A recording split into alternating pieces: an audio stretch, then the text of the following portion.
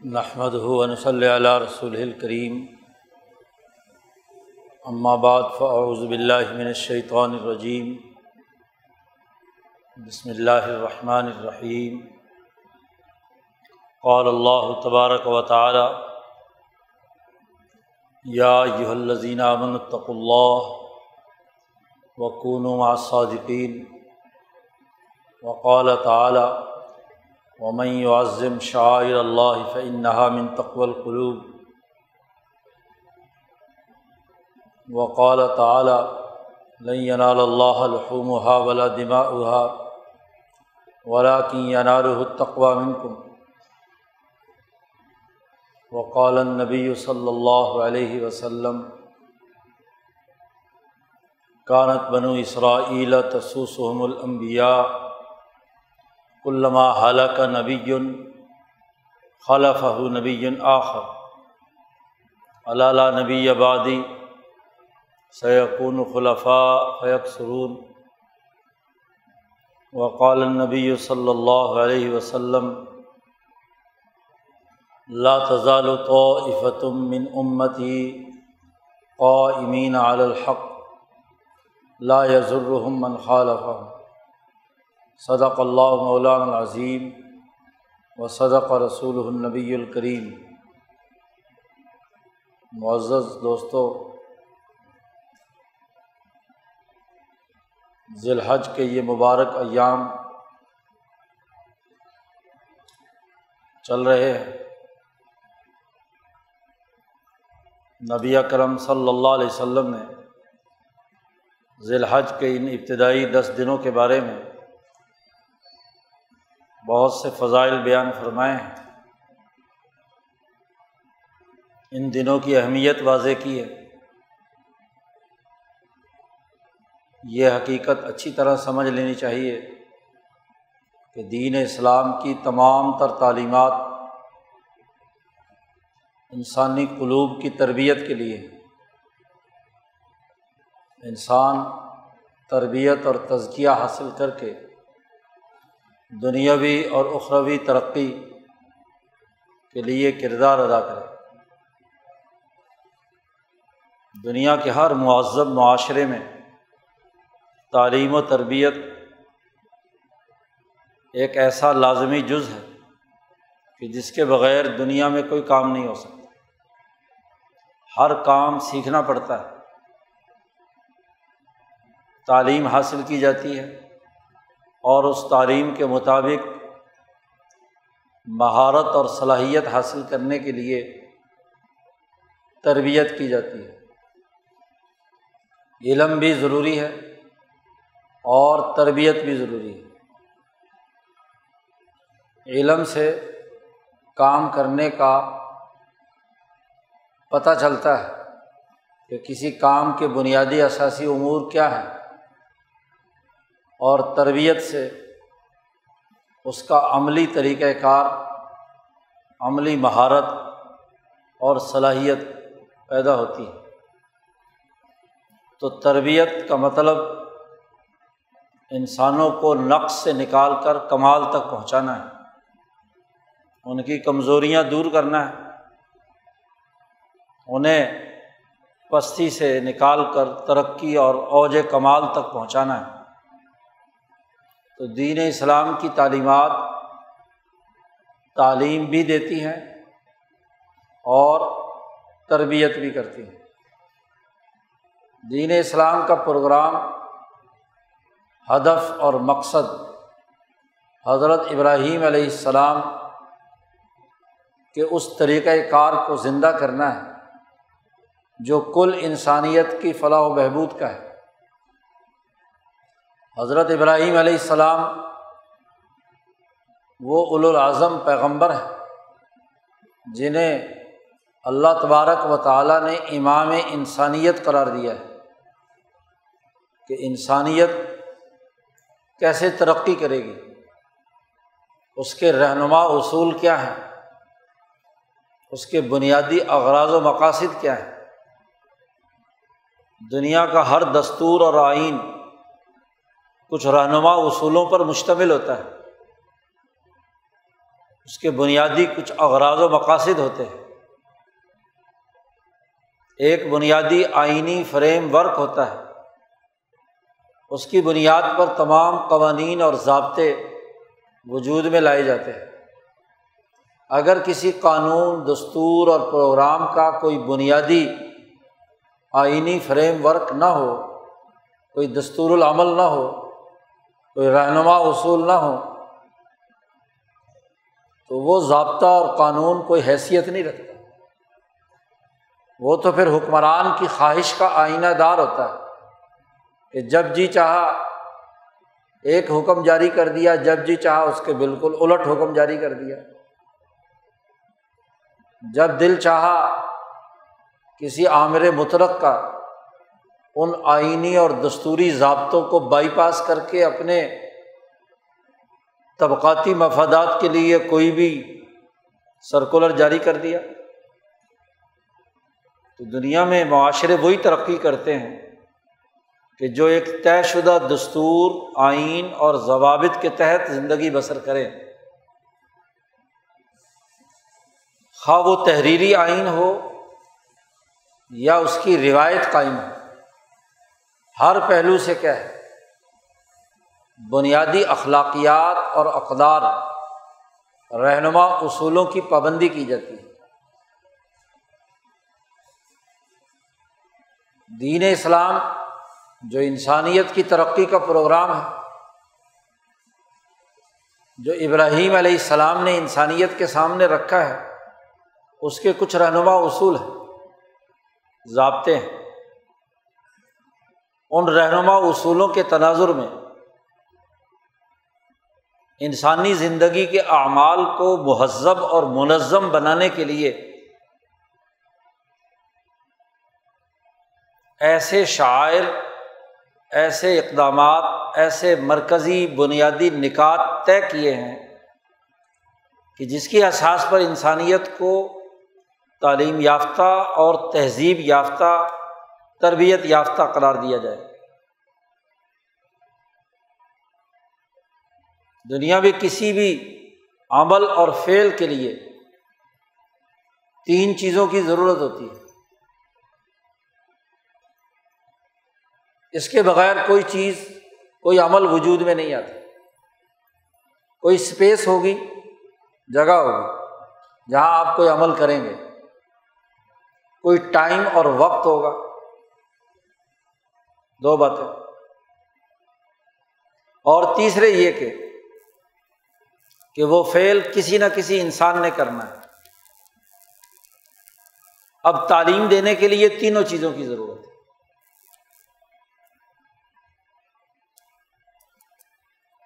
कि जिसमें एक वक्त भी मुतन हो, एक जगह भी मुतन हो, एक तरबियत और तालीम देने वाला भी हो और फिर वो तालीम देने वाला एक ख़ास इलम, ख़ास निसाब, तयशुदा असूलों की तालीम दे। निसाब तालीम भी ज़रूरी है, चौथी चीज़। तो बुनियादी तौर पर चार चीज़ों की ज़रूरत है। तरबियत और ट्रेनिंग इन चारों के बगैर मुकम्मल नहीं होती। अब दीन इस्लाम की तरबियत के जो बुनियादी रहनुमा अमूर हैं, उन्हें शायरुल्लाह कहा जाता है। अल्लाह के शायर हैं। इन शायर में वक्त भी है, औकात और अयाम भी हैं। जगह, मकान और ज़मीन का एक ख़ास टुकड़ा भी है। तरबियत इसके बगैर नहीं होती। सड़क पर चलते हुए किसी को सबक नहीं पढ़ाया जा सकता। जिस दर्जे की तालीम देनी है, उसके लिए कोई इदारा होगा, कोई कॉलेज, कोई यूनिवर्सिटी, कोई मदरसा, कोई मस्जिद। जगह चाहिए, जिसमें सब लोगों को जमा करके तरबियत दी जा सके। तो औकात अयाम भी चाहिए, जगह और मकान भी चाहिए। स्पेस भी चाहिए। तरबियत देने वाला भी चाहिए। उस्ताद होगा तो ट्रेनिंग होगी। इसके बगैर तो न तालीम हो सकती, न तरबियत हो सकती। ना इलम मुंतकिल किया जा सकता और न ही उस पर किसी भी दर्जे की महारत और सलाहियत सिखाई जा सकती। और एक तयशुदा निसाब भी होगा कि इस निसाब के मुताबिक, यानी ये ये चीज़ें हैं जो इल्मी तौर पर और अमली तौर पर सिखानी है। ये उमूर इन चारों का इब्राहिम सलाम की तहरीक के साथ बड़ा गहरा ताल्लुक है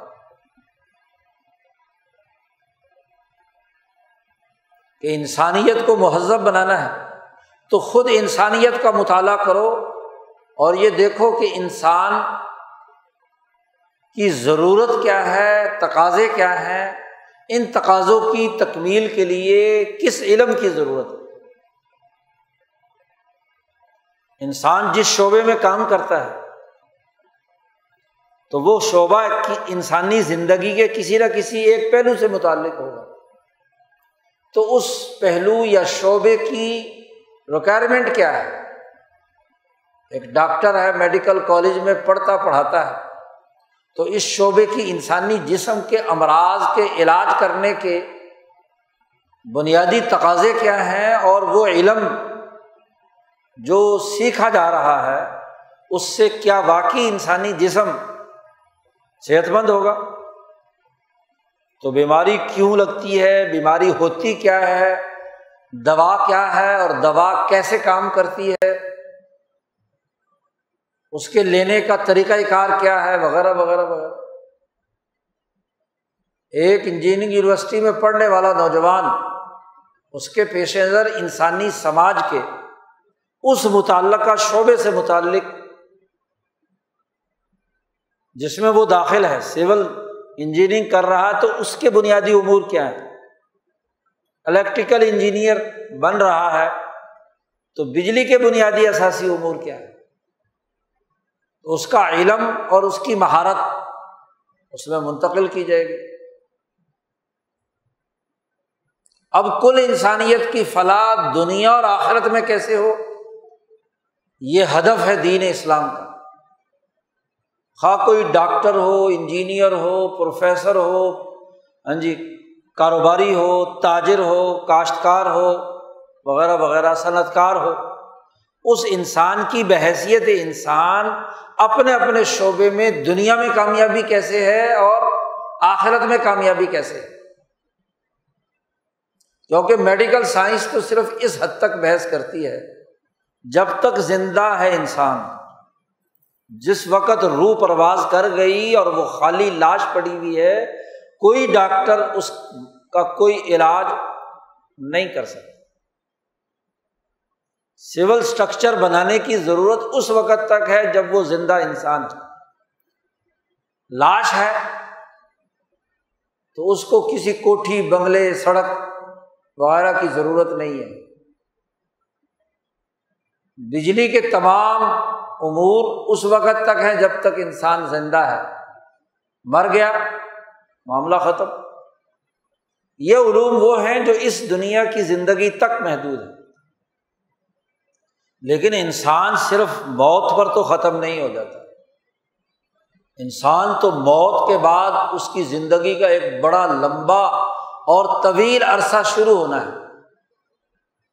तो वहाँ की कामयाबी और इस दुनिया में भी कामयाबी। सिर्फ़ इस दुनिया ही की नहीं और न सिर्फ़ आखिरत ही की। बल्कि दोनों जगह की कामयाबी। रब्बना आतिना फिर दुनिया हसना व फिर आखिरत हसना। दोनों की कामयाबी का हदफ। अब दोनों की कामयाबी के लिए लाजमी और ज़रूरी है कि वो इंसानी असासी उमूर मुतन किए जाएँ, उनकी तालीम दी जाए, उस पर तरबियत दी जाए, उसके मुताबिक महारतें और सलाहियतें उनके अंदर पैदा की जाएँ ये हदफ है अम्बिया इब्राहीम आसमाम से लेकर हज़रत मोहम्मद मुस्तफ़ा सल्लल्लाहु अलैहि वसल्लम तक, तमाम अम्बिया अब जब ये हदफ है तो इस हदफ को पूरा करने के लिए औकात अयाम इंसानियत की तरक्की के लिए, ट्रेनिंग के लिए औकात अयाम मुतन किए गए। कि किस वक्त में, किन दिनों में, कौन सा काम, कौन सी ट्रेनिंग होनी चाहिए? तालीम और तरबियत के लिए औकात का शेड्यूल जारी करना ज़रूरी है। हर वक्त 24 घंटे तो पूरा साल तो तालीम और तरबियत नहीं हो सकती। उसके लिए मुतन होना चाहिए तो रोज़ाना के अवकात मुतन कर दिए नमाजों के मसलन। हफ़्ता वाराना अवकात मुतन कर दिए जुमे का दिन, तालीम और तरबियत के लिए। जुमे का दिन तालीम के लिए भी है और तरबियत के लिए भी है।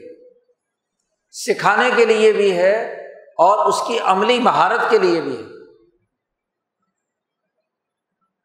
और फिर एक साल बाद रमज़ान के रोज़े, रमज़ान का वक्त। क्योंकि नमाज़ एक ऐसा प्रैक्टिकल है कि जो दिन में पाँच दफ़ा हो तो अल्लाह के साथ भी ताल्लुक़ और दुनिया की कामयाबी का निज़ाम भी उससे बेहतर। उससे बड़ा इज्तम हो तो हफ्तावार होना चाहिए। और अगर उससे भी बड़ा इज्तम करना चाहिए तो रमज़ान और हज के अयाम दोनों एक दूसरे के साथ जुड़े हुए जक़ात की अदायगी भी है तो साल के बाद। तो कुछ सालाना शेड्यूल है और कुछ महाना है, कोई हफ्तावार है और कोई रोज़ाना है। तालीम तरबियत के ये तमाम मराहल हैं।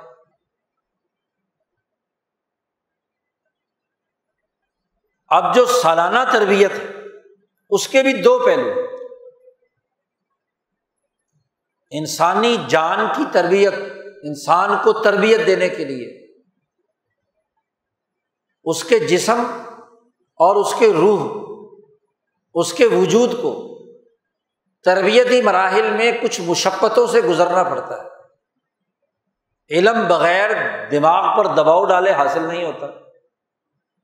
और किसी अमली काम को सीखने के लिए जिसम खर्च करना पड़ता है, ज़ोर लगाना पड़ता है, मेहनत और मुशक्क़त करनी पड़ती है। इसके बगैर तो दुनिया में कोई महारत हासिल नहीं हो सकती। घर बैठे कौन महारत हासिल कर सकता? हासिल भी कर ले तो उसे करने के लिए तो काम, उसके जिसम को करना है ना, हाथों पाओ जिसम को ये काम करने तो दो चीज़ें चाहिए। जानी कुर्बानी, माली कुर्बानी। माल भी कुर्बान करे और जान भी कुर्बान करे। जान को भी मुशक्क़त में डाले, तरबियत और तालीम हासिल करने के लिए पैसे भी खर्च करने पड़ते हैं। और जिस्मानी मुशक्क़त भी बर्दाश्त करनी पड़ती है। दोनों चीज़ों के मिलने से ही इंसान में तरबियत आती है। तालीम आती है। तो वो लोग जो साहिब इस्तात हैं, साल के बाद उन पर लाजिम है कि वो माली कुर्बानी दें ज़क़़त की सूरत। ज़क़़त अदा करें। ये कुर्बानी उनके लिए है जिनके पास माल है। जिनके पास माल नहीं है, उनके लिए ये कुर्बानी उनको फ्री तालीम दी जाएगी। उनसे फ़ीस वसूल नहीं की जाएगी, तालीम और तरबियत की। बल्कि उल्टा अगर वो ज़रूरतमंद हैं तो उनको खुद इज्तमाही निज़ाम उनकी ज़रूरत पूरी करे। वो मालदार जिनसे पैसे वसूल किए गए हैं, फीसें वसूल की गई हैं, उनसे वो पैसे लेकर उन पर क्या है? कमज़ोरों और मोहताजों पर खर्च किए जाए। नबिया करम सल्लल्लाहु अलैहि वसल्लम ने मुआज इबन जबल को यमन का गवर्नर बनाकर भेजा तो वाज हिदायत दी कि तो खजो मिन अग्नियाम व तुरद्दो इला फ़कराम कि उनके मालदारों से माल लेना और उनके गरीबों पर खर्च कर देना, उनके कमज़ोरों पर ज़यीफ़ों पर, उनके फ़करा पर।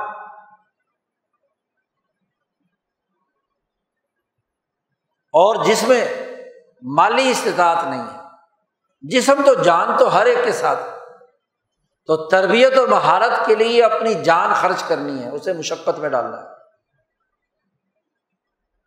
उसके लिए तरबियत का एक ख़ास महीना रमज़ान का रखा। इंसान का मुताला किया इंसान की हकीकत का जायज़ा लिया। इमाम शाह वलील्ला फरमाते हैं कि जब इंसान का जायज़ा लिया तो पूरे साल में कम अज़ कम एक महीना ऐसा हो जिसमें ये इंसान दिन में रोटी ना खाए, ना पानी पिए। इसकी जिसम की सेहत और इसकी रूह की तरक्की, इसकी चुस्ती और तवानाई पैदा करने के लिए ज़रूरी है कि इसका मैदा, इसका जिसम के पूरा निज़ाम, इनहज़ाम वो रेस्ट करे। सूरज निकलने से सूरज गुरूब होने के दरमियान में सूरज की हरारत जब कुर्रा अरज पर पड़ रही हो तो इसका पेट भूखा होना चाहिए। उस वक़्त सूरज की तवानाई से पकी हुई कोई गज़ा कोई पानी, कोई चीज़ इसके पेट में ना जाए। सिर्फ़ रात के अंधेरे में। सुबह को सहरी और शाम को इफ्तारी। सूरज के गरूब होने के बाद उस वक़्त इसके जिसम के अंदर खुराक जानी चाहिए। इनटेक उस वक़्त होनी चाहिए। ये रोज़े का अपना एक निज़ाम है। तो ये बुनियादी जिस्मानी मुशक्क़त भूखा रहे, बर्दाश्त पैदा करे।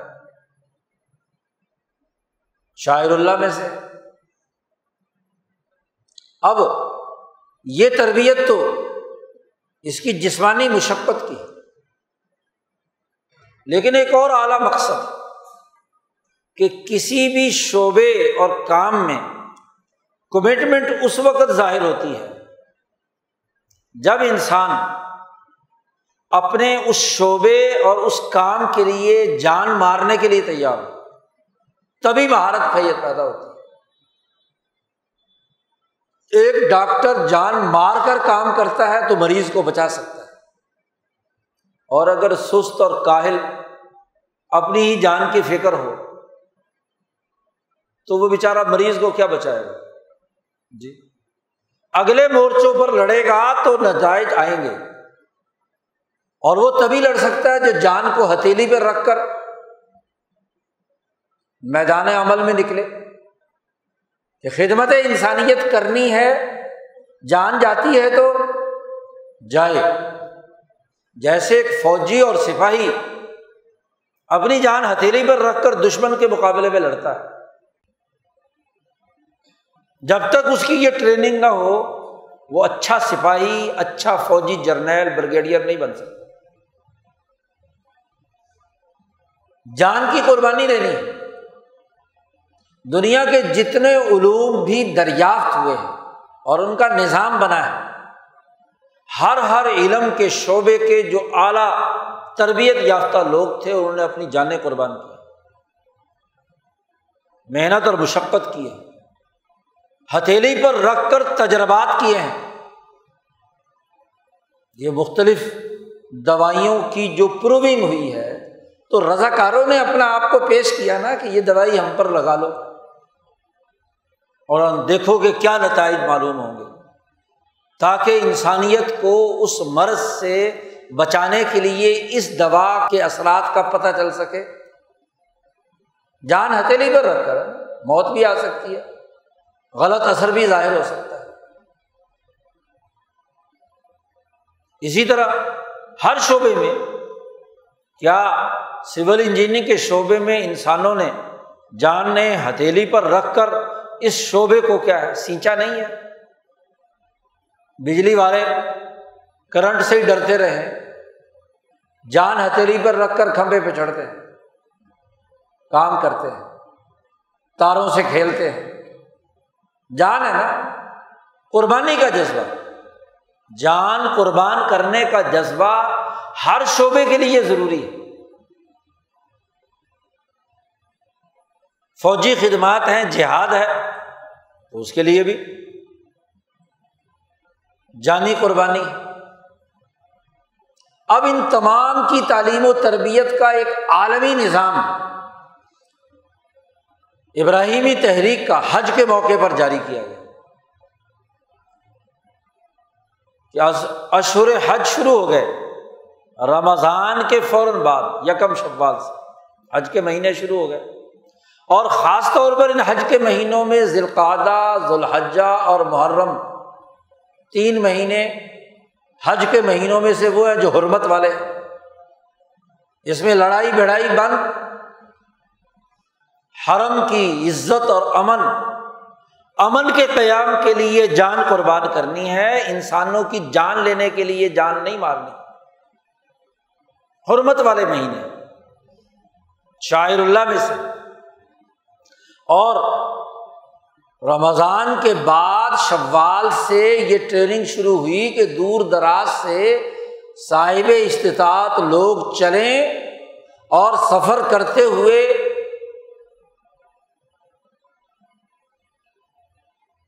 वहाँ पहुँचे, जो तालीम तरबियत का मरकज है।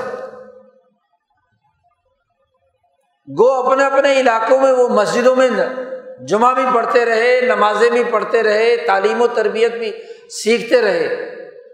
लेकिन इन महीनों में उन्हें अपना वतन छोड़ना है, अपनी मस्जिद छोड़नी है, अपना जगह छोड़नी है और वो मस्जिद जिस मरकज के रुख पर बनी है, बैतुल्लाह हराम, वहाँ पहुँचना है। वहाँ इज्तम आम होगा। हज कस्त और इरादे को कहते हैं। यानी बुलंद इरादों और हिम्मतों के साथ वो उस बैतुल्लाह हराम के गिर्द दीवानावार तवाफ और फिर दीगर शायर, सफ़ा व मरवा और फिर मिना, मुजदलिफा और अरफात के मैदान में चक्कर लगाए। इज्तिमा कायम करे इज्तम आम, कुल इंसानियत का इज्तम। इंसानियत की तरक्की के लिए। इस इज्तम में जाएँगे सब लोग। और ज़ाहिर है कि जब उस इज्तम का में पहुँचेंगे तो हज के लिए भी वक्त टाइम मुकर कर दिया कि नौ जिलहज को अरफात के मैदान में जमा होना है और दस जिलहज को यौम नहर जिसे कहा जाता है, कुर्बानी का दिन उसे मिना में आना है और तवाफ करना है। वगैरह वगैरह। अब ये जो दस दिन शुरू के हैं, यकम जिलहज से लेकर दस जिलहज तक, यकीनी तौर पर दुनिया भर के काफले मक्का में पहुँच चुके हैं या पहुँचने वाले हैं? मसलन नबी अकरम सल्लल्लाहु अलैहि वसल्लम चार जिलहज को मदीना मुनवरा से मक्का मुकर्रमा पहुँच गए। तो अगले छह दिन आपका क्याम कहाँ है? हरम में। तो हरम में या तो दाखिल हो चुके हैं, या हरम तक पहुँच चुके हैं। तो बड़ा इज्तम है। और इस इज्तम का मकसद इमाम शाह वली फरमाते हैं कि पूरी दुनिया में अपने दीन के बुनियादी फ़िक्र और नज़रिए के गलबे का ऐलान है। खरे खोटे की पहचान। शाह साहब फरमाते हैं कि जैसे दुनिया भर की हुकूमतें अपना सालाना इज्तम करती हैं। खा वो यौम आज़ादी हो, यौम जमहूरिया हो, यौम दस्तूरिया हो, वगैरह वगैरह। उस इज्तम का मकसद ये होता है कि उस रियासत और ममलकत और वहाँ नाफिज आइन और दस्तूर की आज़मत और उसकी अथॉरिटी तमाम लोगों के सामने रखी जाए। और चूँकि साल बाद एक नई नस्ल जवान होकर नए मैदान में आ चुकी होती है और साल भर में इंसान अपनी ज़िंदगी के एक अहम तरीन मरहले को तय कर लेता है तो हर नई आने वाली नस्ल जो नई माहौल के अंदर परवरिश पा रही है तो उसके सामने उस मुल्क और रियासत की अजमत, उसके कानून और दस्तूर की अहमियत, उस पर लेक्चर, गुफ्तगु, खिताबात वगैरह वगैरह, उसकी फौजी और अस्करी ताकत और कुत का इजहार किया गया। उसकी इज्तमाहीत कायम की रखी तो शाह साहब कहते हैं, दुनिया की हर कौम ये करती है। तो जब इमाम इंसानियत इब्राहिम सलाम ने यह प्रोग्राम जारी किया तो कुल इंसानियत का भी तो एक इज्तम होना चाहिए ना बैन अवी कि तमाम अकवाम आलम, उनके मुसलमान जो इस नज़रिए को मानने वाले हैं, ट्रेनिंग उन्हीं की होगी ना, ट्रेनिंग के लिए वहाँ आए। दो आदमियों की ट्रेनिंग और एक हज़ार आदमियों की ट्रेनिंग में ज़मीन आसमान का फ़र्क। वहाँ सीखने, समझने का मौका ज़्यादा मिलता है। और अगर एक लाख आदमी हो तो वहाँ और ज़्यादा। क्यों? कि दुनिया भर की अकवाम गुफ्तगु करने वाले, कारोबार करने वाले, मुख्तलिफ़ पेशों से ताल्लुक़ रखने वाले, दुनिया भर के अफराद जमा हैं तो कितना तजर्बा होगा? मालूम होंगी। तबादला अफकार भी होगा तबादला अजकार भी होगा तबादला अमवाल भी होगा, और एक दूसरे के करीब रहने से, एक दूसरे के अखलाक और आदात और अमाल का तबादला भी होगा। फिर जिसमें, जिस अमल की कोई कोताही होगी तो इज्तमाही आम में रहने से उसका भी पता चल जाएगा। और जो नरगसियत पसंद, तन्हाई पसंद, इनफरादियत पसंद है, उनका भी इम्तिहान होगा। कि एक छोटी सी साफ़ सुथरी मस्जिद में चार रकाते इमाम के सामने सुकून के साथ पढ़ने और एक लाख के मजमे में जहाँ एक दूसरे से लोग मिल रहे हैं, टकरा रहे हैं तो ऐसे वक्त में भी तुम्हारे अंदर हाँ जी, हुजूर की कैफियत रहेगी। ज़ात बारी ताला से ताल्लुक का अमल रहेगा। फिर मुख्तलिफ़ लोग मिल रहे हैं, मुख्तलिफ़ मिजाजों के। किसी का एक वक्त मिजाज है, दूसरे तो मिजाज टकराएँ तो क्या तुम्हारे अंदर बर्दाश्त की ताकत है कि तुम दूसरे इंसान को बर्दाश्त कर सको?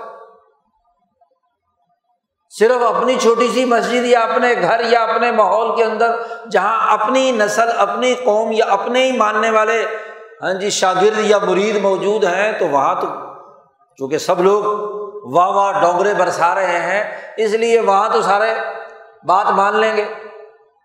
लेकिन एक ऐसे इज्तम में जो कोई किसी को नहीं जानता। और उनकी जिसमानी लिबास की शनाख्त भी बदल गई। हर आदमी अपने अपने कपड़े उतारे अपनी अपनी हाँ जी, पहनने के लिबास और शनाख्तें उतारे। मालदार हो या गरीब हो, दो सफ़ेद कपड़ों पर हाँ जी, एहराम बांधे, एक जैसे। अंदर से इंसान तो एक जैसे ही है ना। तो लिबास भी एक जैसा, किसी को किसी पर कोई फजीलत हासिल नहीं। ज़ाहरी कोई शनाख्त नहीं। तो क्या आप वहाँ एक गरीब आदमी की कोई गलत हरकत को बर्दाश्त करने के लिए तैयार हैं कि नहीं? इसलिए कहा गया कि वहाँ ना तो झगड़ा करना है, ना दंगा फसाद करना है, ना गाली गलोच करना है। हाँ जी, बदअमनी पैदा नहीं करनी, अमन के साथ रहना है। तो बर्दाश्त की ताकत और कुत भी है ना। तालीम के साथ तरबियत का मतलब ये होता है कि आप अपनी टीम के तमाम अफराद को बर्दाश्त करने और उनके साथ कोऑपरेशन करने के लिए तैयार हैं या अपनी दुनिया में मगन है, अपनी अथॉरिटी बनवाने के लिए हर वक्त लगे हुए तो जब तक किसी भी शोबे में टीम वर्क ना हो और अपने तमाम पूरी टीम की इज़्ज़त और एहतराम ना हो तो तरबियत हासिल नहीं होती। तो ये तरबियत का अमल है। अब जान कुर्बान करनी है। तो इब्राहिम सलाम की सुन्नत इस्माईल सलाम की सुन्नत क्या है? कि आला मकासद के लिए जान भी देनी पड़े तो ज़िबा होने के लिए भी तैयार असल तो इस महीने में इंसान कुर्बानी करके अपने आप को कुर्बान करने के जज्बे का इजहार करता है। इस बात को समझने के लिए इस हकीकत का जानना ज़रूरी है कि इंसान जिसम और रूह दोनों का मजमुआ है। इसका जिसम हैवानी खसलतें रखता है।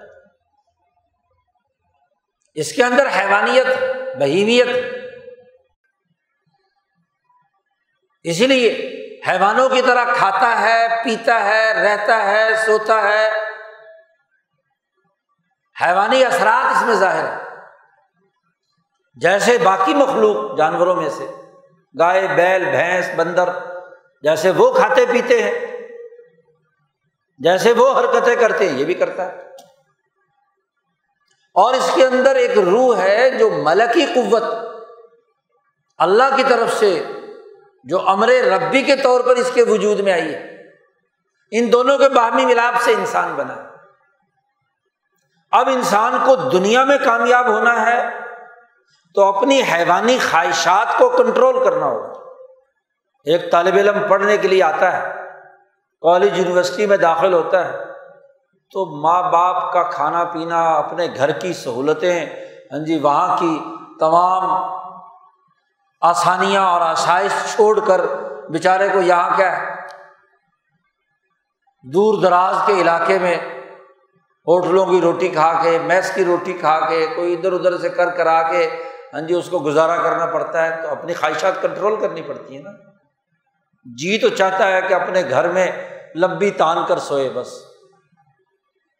कोई काम ना करना पड़े, लेकिन एक आला हदफ है तो तरबियत के लिए सारी चीज़ों को छोड़कर आता है। भूख भी लगी भी और क्लास चल रही हो, लेक्चर हो रहा हो और बड़ा अहम हो तो भूख बर्दाश्त करके बैठा रहेगा कि नहीं? और अगर रोटी का गलबा हो गया, और वहाँ से निकले और अनारकली में सैर सपाटे किए, खाना पिया, खाबा खाया तो लेक्चर तो चला गया ना। एक अहम ट्रेनिंग तो मिस हो गई तो वो क्या तरक्की करेगा? तो उसे कुर्बानी देनी है। और फिर इस काम के लिए कुर्बानी देनी है।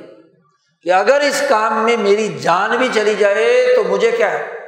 कुर्बान करने में कोई दरेग नहीं होना चाहिए। ये जो कुर्बानी है, ये दरअसल जान की कुर्बानी थी। हर मुसलमान से ये तकाजा किया गया कि वो अपनी बहीमियत को ज़िबा करे, अपने जानवर और हैवानियत को ज़िबा करे। उस पर छुरी फिरे। इस्माईल सलाम ने जैसे अपनी जान पेश कर दी बाप के सामने। इब्राहिम सलाम जिनका लखते जिगर, बड़ी आरजुओं, दुआओं, तमन्नाओं के बाद बुढ़ापे में, अस्सी साल की उम्र में एक बच्चा पैदा हुआ और वो बारह, दस, बारह साल, पंद्रह साल का है तो पचानवे साल की उम्र है इब्राहिम की। बुढ़ापे की औलाद तो वैसे ही आदमी को दिलो जान से प्यारी होती है और वो भी अकलौता बेटा। बाप से कहा गया कि इसको कुर्बान कर दो। जिबा करो। बाप का दिल गुर्दा है। कुर्बानी मांगी जा रही है। इंसानियत के उसूलों के लिए जान कुर्बान करने की इब्राहिम सलाम से अपने उभरते नौजवान को ज़िबा करने की। और नौजवान जिसने अभी दुनिया देखी है जवानी शुरू होती है तो उसे दुनिया नज़र आना शुरू हुई। बचपन में तो पता ही नहीं चला। आँख खोली अभी। अभी तो उसने दुनिया देखी नहीं। बड़ी ज़िंदगी पड़ी है उसको देखने की। बाप कहता है कि अल्लाह का हुक्म है कि तुम्हें ज़िबा होना है। कहा, ठीक है। ज़िबा कर दीजिए। जो अल्लाह ने हुक्म दिया है, वो ज़िबा कर दीजिए। और देखना मेरा चेहरा जो है वो अपनी आँखों के सामने ना रखना। ऐसे तरीके से लिटाना कि चेहरा ज़मीन की तरफ़ हो, जब तुम छुरी फेरो तो ये ना हो कि मेरा चेहरा देखकर शफकत पैदा हो जाए और छुरी जो है वो तुम फेरने से रुक जाओ। इस्माइल सलाम इब्राहिम से क्या है? बड़ी बात कि बेटा अपने आप को कुर्बान होने के लिए तैयार है। क्या हुआ? ज़िंदगी नहीं देखी। तो चलो अल्लाह का हुक्म है, जान कुर्बान करने के लिए तैयार। इब्राहिम सलाम नौजवान बेटे पर छुरी फेरने के लिए तैयार हैं कि जिसकी मोहब्बत में पिछले अस्सी नब्बे साल से हैं कि औलाद पैदा हो। साल, दो साल औलाद ना पैदा हो, ना शादी के बाद तो फिर देखने वाली हालत होती है। जी, दोनों मियाँ बीवी की। और उनके अम्मा अब्बा की, बल्कि ससुराल वालों की दोनों तरफ़ से, बस जी, फलाने के पास जाएँगे, तवीज़ करो, वो करो, डॉक्टरों के पास, हकीमों के पास, पता नहीं क्या क्या कुछ करते रहे। तो बड़ी अहम बात, जान की कुर्बानी। और जब आला तरीन दर्जे पे दोनों का इखलास ज़ाहिर हो गया और छुरी फेरना शुरू कर दी तो अल्लाह ने कहा, बस, कुर्बानी दे दी तुमने। कुर्बानी कबूल हो गई। उसकी जगह पर जानवर, हैवानियत वो मेंढा जो इब्राहिम के कल्ब के अंदर हैवानियत की सूरत और इस्माइल के वजूद के अंदर जो हैवानियत की सूरत में है, उसको लाकर इब्राहिम सलाम के सामने रख दिया। ख़ास तौर पर इस्माइल की हैवानियत। क्योंकि इस्माइल की ज़िंदगी तो बड़ी पड़ी है ना।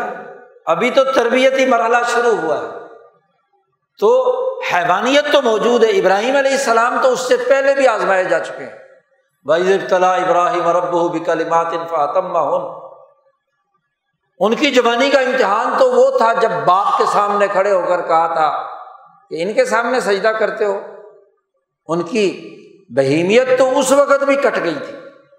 जब घर जो भरा पूरा शहर, रियासत और हुकूमत को ठोकर मारकर इब्राहिम जब वहाँ से मुहाजिर बनकर कौल इन्नी मुहाजिर इला रब्बी कहकर इराक से रवाना हो गए किनान की तरफ़। तो उस वक्त भी बहीमी ख्वाहिशात पर उन्होंने चुरी फेरी फिर हर हर मरहले पे इम्तिहान। हुक्म हुआ कि इस नौमौलूद बच्चे को, इस्माइल को और इसकी माँ को सहरा लक्को दक के अंदर जाकर छोड़ाओ।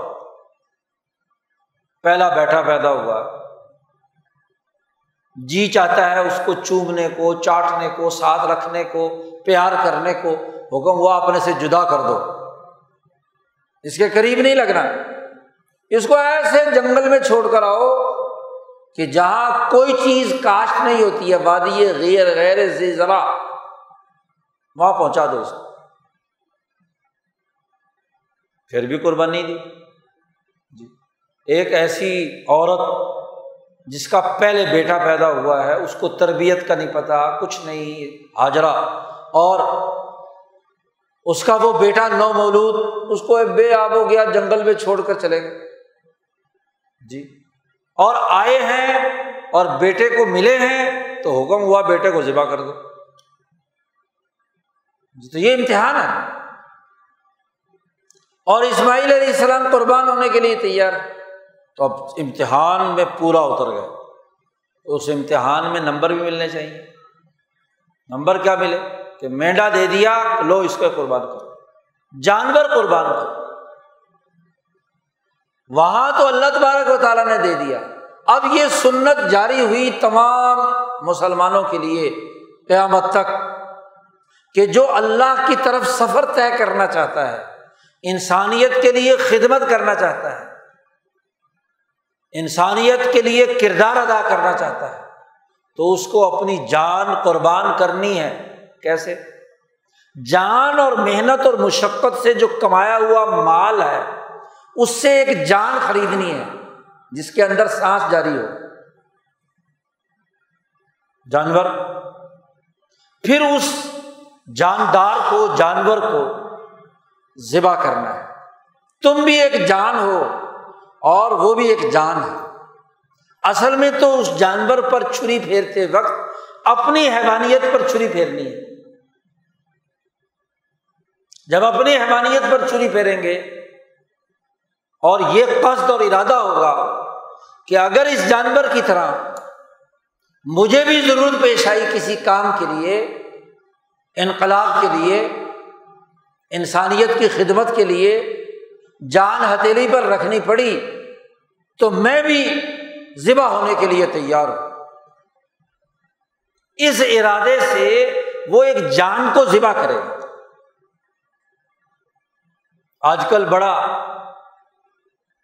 लायानी किस्म का प्रोपगंडा किया जाता है जानवर ज़िबा करने की क्या ज़रूरत पैसे दे दो। गरीबों के काम आएँगे। ये नाम नेहात तरक्की पसंद लिबरल पता नहीं क्या क्या कुछ अपने साथ लाके और सबके जोड़कर कहते हैं कि जी जानवर ज़िबा करने की ज़रूरत क्या? जितने में जानवर खरीदा, वो पैसे किसी गरीब को दे दो। पैसे देने का निज़ाम तो सालाना अलग से है। जी, उसके लिए टाइम जक़ात का, जब भी आ जाए, और उसके लिए कोई टाइम मुकर्र नहीं है। जिस वक्त मर्ज़ी सदका खैरात कर दो। इस कुर्बानी के दिन के आने से पहले पहले अपनी मिल्कियत में से सारा माल निकाल कर भी लोगों को तकसीम कर दो। किसने मना किया? कुर्बानी वाजिब ही नहीं होगी। चलो ये ज़रूरत दिखाएँ। ये सारे लिबरल और ये सोशल मीडिया पे शोर मचाने वाले एन कुर्बानी के दिन में क्यों? भाई, दसवा, दस दिल हज को कुर्बानी का वक्त शुरू होता है। सुबह ईद पढ़ने के बाद। जी। अब इससे पहले पहले अपने मिल्कियत में से सारा माल अल्लाह के रास्ते में दे दो, ताकि कुर्बानी फ़र्ज़ ना हो। तो ठीक है, हम नहीं कहेंगे कि जानवर ज़िबा करो। वो तो करने के लिए तैयार नहीं। सदका खैरात करने के लिए तैयार नहीं है। लेकिन जो वाजिब हो गई कुर्बानी, आप मालदार हैं, पैसा है आपके पास। सदका, खैरात अलग से करना है। अब पैसे को जिबा तो नहीं किया जा सकता। पैसे में तो रूह नहीं है। हाँ तुम्हारी रूह अटकी हुई हो तो अलग बात है। लेकिन जितनी भी रूह अटकी हुई हो तो उस पैसे को देने से अपनी बहीमियत जिबा नहीं होगी। बहीमियत जिबा तभी होगी, हैवानियत पर छुरी तभी फिरेगी कि जब उस पैसे से जानवर खरीदोगे और इसीलिए नबी अकरम सल्लल्लाहु अलैहि वसल्लम ने फरमाया कि जानवर को पालो, उसके साथ दिली ताल्लुक पैदा करो, मोहब्बत करो, प्यार करो, खिलाओ, पिलाओ, मोटा ताज़ा करो तो एक दिली ताल्लुक हो जाएगा ना।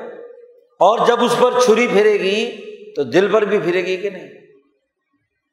जब दिल पर फिरेगी तो हैवानियत टूटेगी। और मलकियत पैदा होगी उसके लिए तीन दिन मुकर कर दिए। शेड्यूल जारी हो चुका है। इब्राहिम इस्लाम के ज़माने से। कि इन तीन दिनों में मुसलमान साहिब इस्तात को अपनी हैवानियत ज़िबा करने के लिए अपने माल से खरीदा हुआ जानवर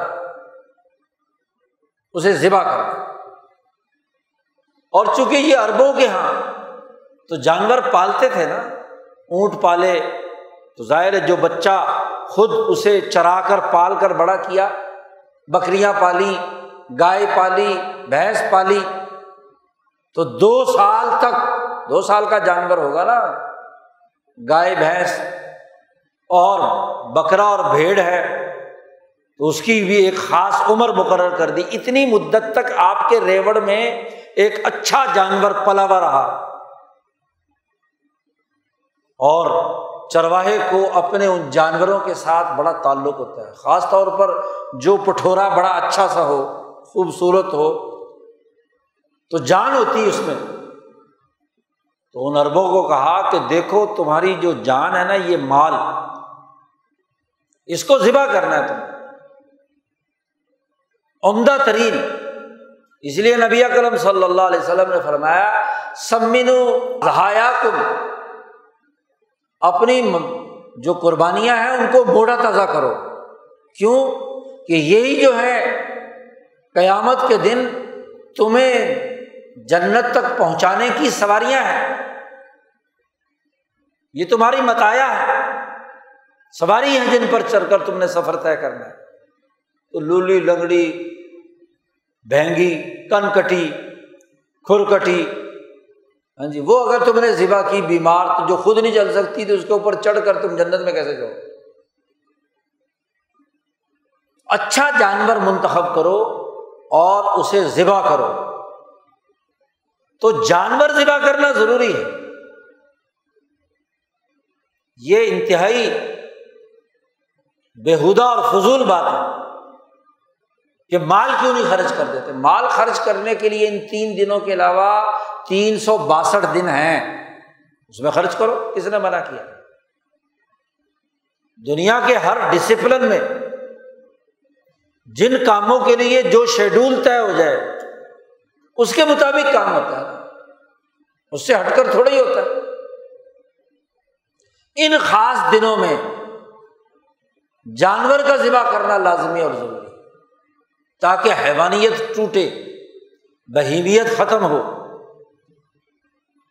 माल की मोहब्बत इंसान को जानवर बनाती है। और माल का जब इतलाक किया जाता था तो सबसे पहले तो जानवर पर किया जाता था। अरबों के यहाँ सोना, चांदी पैसे वैसे नहीं होते थे। माल किसे कहते थे? जानवर को। सौ ऊँट, बकरियाँ, भेड़, इसको माल। और अभी भी आप देहातों में चले जाओ तो जो काश्तकार लोग हैं, वो माल किसे कहते हैं? जानवर को। जिसके पास कितनी भैंसें हैं, कितनी गायें हैं, कितनी। ये शहरी बाबू तो बेचारे, चूँकि शहर में अब गाय, बैल, भैंस रखना मना कर दिया, वरना तो ये भी माल जहाँ से उठकर आए हैं तो ये भी तो चाहते हैं ना कि जी आप दूध खालिश पिए। इसलिए शहर से सारी भैंसें, गायें ऊँट निकाल कर हाँ जी, डब्बे का दूध पिला रहे हैं। पता नहीं वो सही भी है, गलत है। तो माल असल में क्या है? जानवर। इंसान की फितरत है कि वो जानवर पालता है अपने लिए। तो जिसे पाला है, उसे जिबा करना है। ये तो सरमायादारी निज़ाम के ज़माने में ज़र की अहमियत बुनियादी हो गई। और वो ज़र भी गायब हो गया। उसकी जगह पर एक करेंसी नोट जो है कि हामिल हाजा को मुतालबा पर अदा किया जाएगा काज पकड़ा दिया।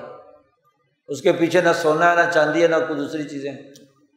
और ज़र तो वैसे भी तबादला अशिया के लिए वास्ता है। वो खुद कोई मकसद नहीं। असल चीज़ जिन्स है। और अजनास में सबसे अहम तरीन जो चीज़ है, वो जानवर है। कीमती भी वही है।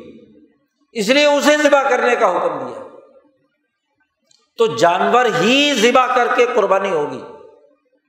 उस कुर्बानी के पैसे गरीबों में बांटने का जो प्रपगंडा करते हैं, उसकी न कोई अकली दलील है, ना कोई नकली दलील। कोई मंतक नहीं। फजूल बात। फिर मुसलमान, उसने अपनी मलकी कुत को मज़बूत बनाकर दुनिया और आखिरत दोनों का सफ़र तय करना है। और मलकी कुत तभी मज़बूत होगी कि जब उसकी बहीमियत और हैवानियत टूटेगी। हर दीन की इबादत, इंसान की बहीमियत को कमज़ोर करने और उसकी मलकियत को मज़बूत करने के लिए, ताकि बहीमियत महजब हो, डिसिप्लिन में आए। वो हद से तजावज़ करके बहुत ज़्यादा खाने, पीने, तायुशात में मुबतला होने लूट मार करने की हालत में ना आए। अब ये मकसद जानवर के जबा किए बगैर हासिल नहीं हो सकता। इसलिए इसको शायर में से करार दिया।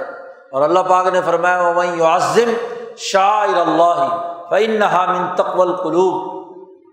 कि जो लोग अल्लाह के शायर की आज़मत दिल में रखते हैं, जिसने ये काम किया तो गोया कि दिलों का तकवा और दिलों का अदब उनके अंदर पैदा हो गया। वो तरबियत याफ्ता हो गए महजब बन गए।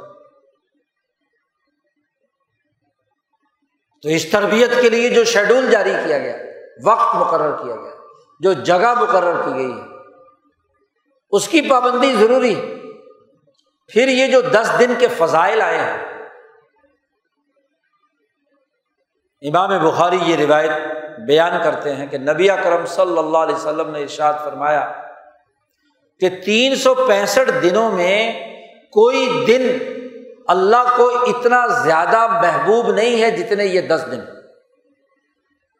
इनमें किया हुआ अमल अल्लाह को सबसे ज़्यादा महबूब है। सहाबा ने पूछा, या रसूल अल्लाह क्या जिहाद वाले दिन या जिहाद वाले अमल से भी ज़्यादा ऊँचा अमल है? तो सुना फरमाया हाँ जिहाद फ़ी सबील्ला से भी ज़्यादा अफजल है। इन दिनों के किए हुए अमाल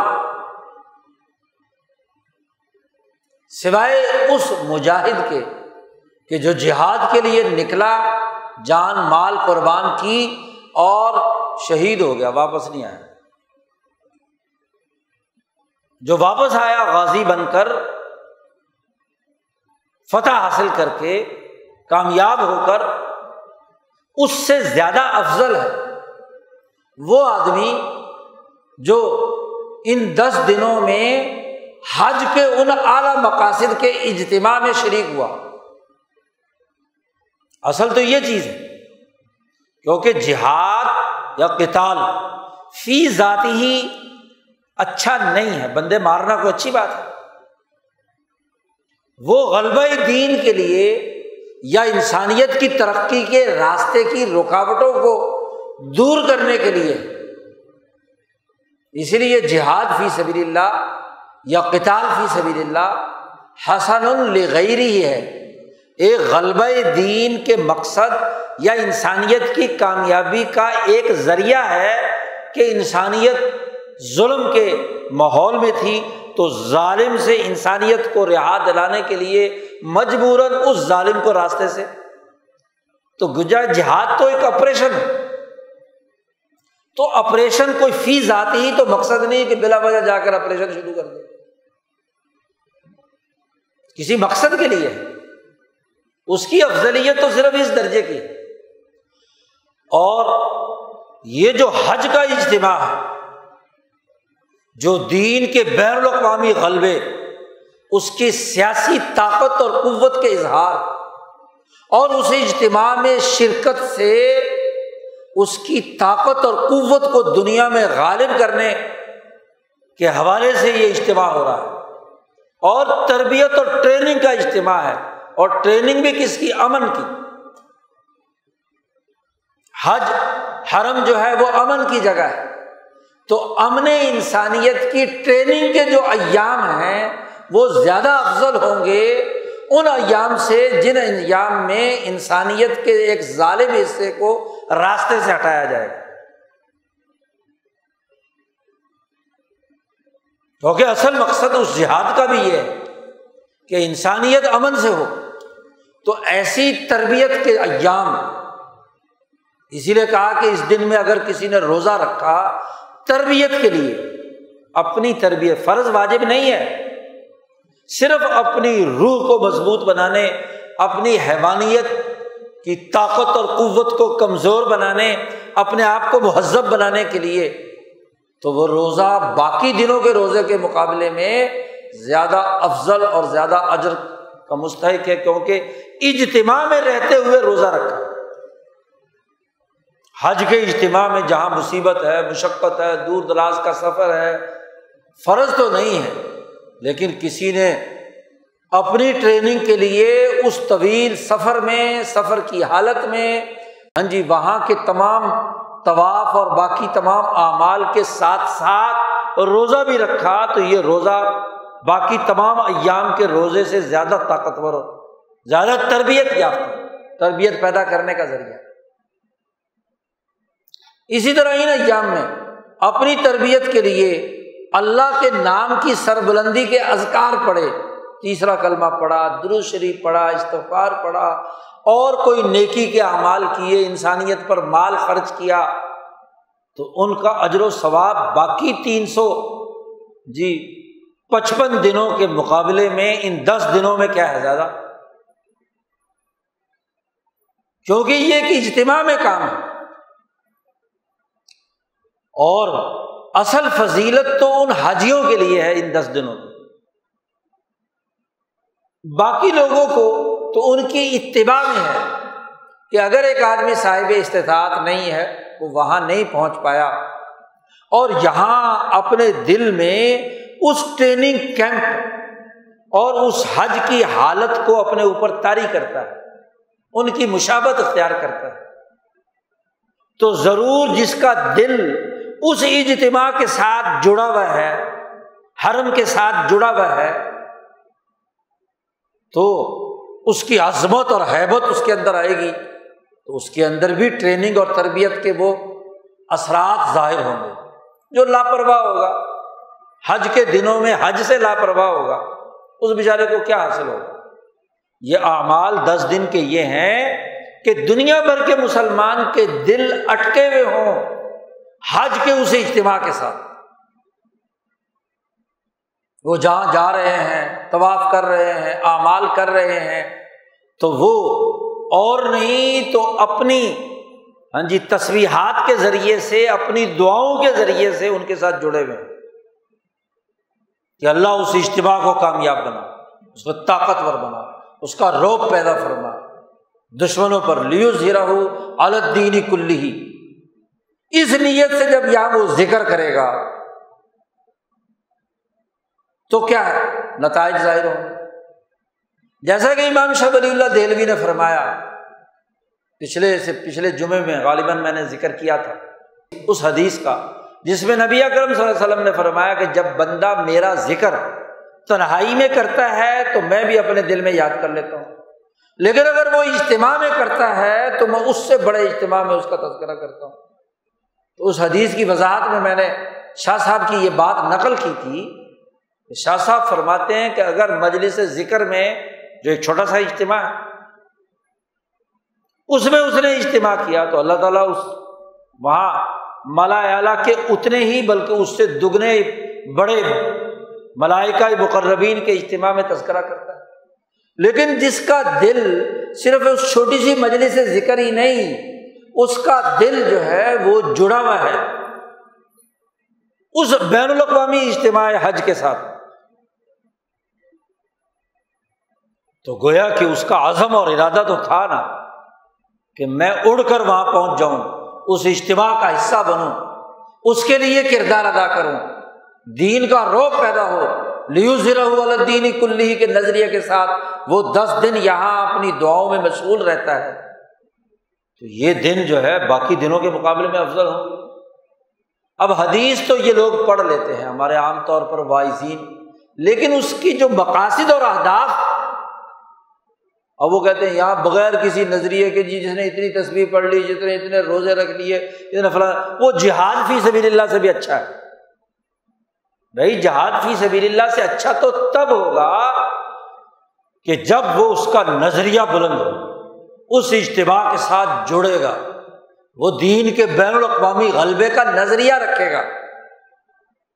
वो मुसलमानों के इज्तम की उस ताकत को मनवाने के लिए जद्दोजहद और कोशिश करेगा। क्योंकि इनमल आमाल बिन नियत नीयत किस दर्जे की है? ज़ाती फ़ायदे की, बीवी बच्चों की, ख़ानदान की, अपने मुरीदों और अपने शागिर्दों की, अपने हाँ जी शहर की, अपने मुल्क की, या कुल इंसानियत की। तो जिस दर्जे की नीयत होगी, उसके मुताबिक अमल होगा। तो जब अमल का दारो मदार नीयत पर है और यहाँ बैठकर उसकी नीयत हरम के नज़रिए को गालिब करने की है, इब्राहिमी तहरीक को गालिब करने की है, हज के मकासद अहदाफ को गालिब करने की है तो इसकी नीयत का भी एक अमल है ना? नीयत फ़ेलकल्ब है। कल्ब का फेल है। जो हाजी वहाँ गया है, उसने तो फ़ेल जिसम भी किया और फ़ेल कल्ब भी किया, नीयत की हज का इरादा करके गया। और आज तो अजीब तमाशा है कि दुनिया भर के इंसानों से कह दिया कि जी हज करने ना हो मैच देखने के लिए फुटबॉल का बरतानिया चले जा सकते हैं। और वहाँ लाखों करोड़ों का मजमा जमा हो सकता है, उनको ना कोरोना होता है, ना उनको कोई वायरस पकड़ता है, ना उनको कोई बीमारी लाक होती है। कहाँ बीमारी लायक होती है? यह ऐसी बीमारी है कि जिस बीमारी के पीछे हाँ जी हरम, मस्जिदें और इजतमात मुसलमानी रोकना है। दुनिया भर के इंसानों पर पाबंदी लगा दीजिए तुम हज करने नहीं आएगा तुम्हारी वजह से क्या होगा? कोरोना फैलेगा। वो जो 600 सिनेमा घर खोले हैं, सऊदी अरब में, वहाँ खचा खच मर्द और औरत भरे हुए हैं तो वहाँ कोरोना नहीं आता। और वो जो हरम है छः छः फुट के फासले पर क्या है? लोगों को खड़ा कर दिया, वहाँ कोरोना आ जाएगा। अजीब तमाशा है। जो तरबियत के दस दिन थे, उनकी इज्तमाहीत के दस दिन थे, इंसानों के वहाँ पहुँचने के दस दिन थे, उस पर पाबंदी लगा दी। यह गलबा दीन है यह मगलूबियत दीन की सबसे बदतरीन मिसाल सिर्फ़ एक दिन में, सऊदी अरब के लोगों को उन्होंने हज के लिए कहा कि जी हज होंगे एक दिन में पाँच लाख दरखास्तें ऐसे लोगों की वहाँ पहुँची हैं कि जिन्होंने इससे पहले हज नहीं किया और सऊदी अरब में रहते हैं। और जिन्होंने इनकी पाबंदियाँ, यानी वैक्सीन भी लगवाई हुई है। उनका टेस्ट भी क्लियर है। पाँच लाख आदमी। तो भाई, जब टेस्ट क्लियर है, वैक्सीन लगवाई हुई है, तुम्हारे सारे एस उन्होंने पूरे किए हुए हैं तो इन पाँच लाख को वहाँ हज करने क्यों नहीं दे रहे? कहते नहीं जी, सिर्फ़ साठ हज़ार आएँगे। जी। अजब बात भाई, जो गलबा दीन का इज्तम आम था, उसको रोक दिया तुमने। इंसानियत के इस बड़े इज्तम को। और फिर वो इज्तम जिसने बैक आवाज़ पुकारना था कि लब्बैक अल्लाह लब्बैक, ला शरीक अलग लब्बैक अल्लाह की सरबलंदी के लिए। अल्लाह से ताल्लुक के लिए जिन्होंने ऐलान करना था, उन पर पाबंदी है। और क्रिकेट खेलो हाँ जी, और हाँ जी, फुटबॉल खेलो गेंद इधर से उधर मारो, उधर से इधर मारो, वहाँ लाखों का इज्तम हो जाए तो कोई अर्ज़ नहीं।